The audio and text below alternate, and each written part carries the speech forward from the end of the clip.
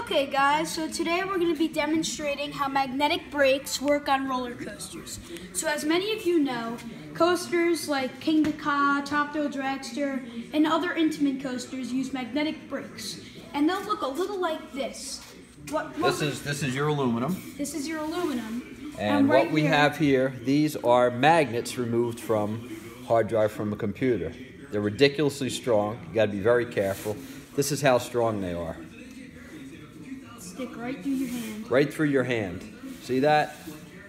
So now what we're going to do is the back side of the magnet is the steel.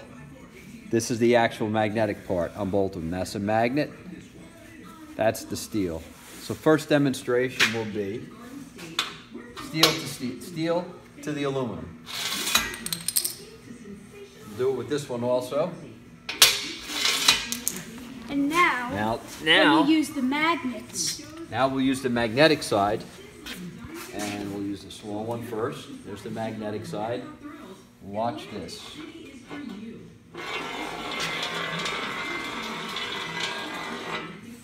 What happens is the magnet actually produces what's called an eddy current, which almost creates a magnetic field around the aluminum, and that's what causes it to slow down. Here's the bigger one. And there you have it. Now watch how strong these magnets are. Watch this. Now try to get them apart, just so you see.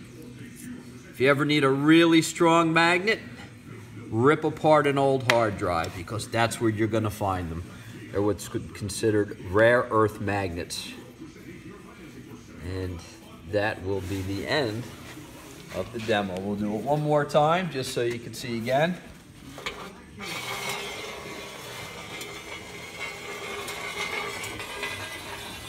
And this is aluminum, as you can see.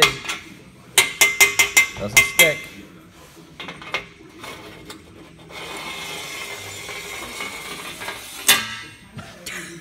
So guys, that'll be it for this demonstration. I hope you guys liked the video. Be sure to like and subscribe, and stay tuned for more videos coming soon to Coliwood Studios.